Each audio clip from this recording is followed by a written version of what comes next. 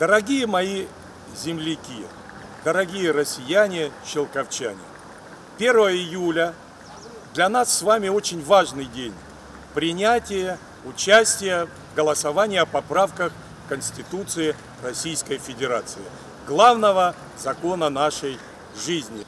Культура в Российской Федерации является уникальным наследием многонационального народа.